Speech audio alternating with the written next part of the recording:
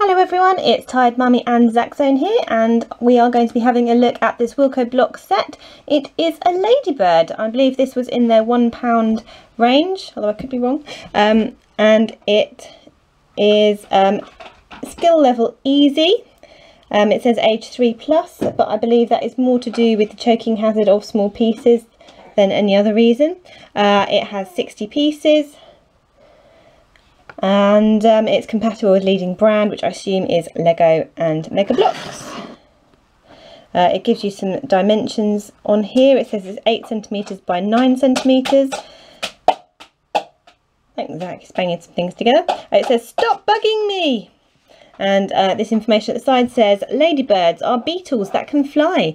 They are oval in shape and often brightly coloured with black spots on their wings. Includes all you need to build this ladybird. So let's get on and have a look. Okay, so here we have the made up ladybird. Um, I will just say that I'm sure on a real ladybird the number of spots are the same on each side, but obviously this one it isn't.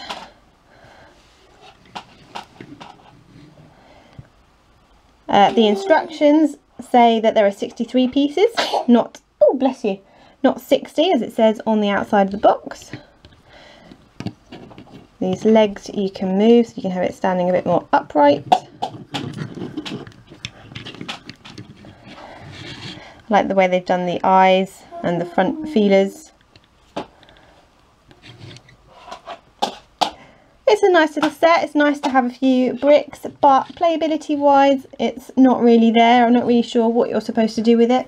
Um, yeah, I'm not sure what um, what else it could go with. I don't know if Mega Bloks do, uh, if Wilko Blox do any other um, things that would be to this scale. Because obviously this is an absolutely huge ladybird. If I just put my hand next to it, you can see it's really, really big. About the same size as the palm of my hand. So it's absolutely huge and um, I don't really see the point of it if I'm being 100% truthful. But it's a nice little kit. If it was only a pound, which I think it was, then it's nice to have some the shaped pieces. Nice little addition to your um, brick or block collection. So overall it's a nice set for what it is. You can't really do much with it which is a bit disappointing. Um, but it bricks are bricks. And for a pound that's nothing really is it for what you get? Especially because these are interesting pieces. You get some really like these sort of um, the megaphone pieces and these claws.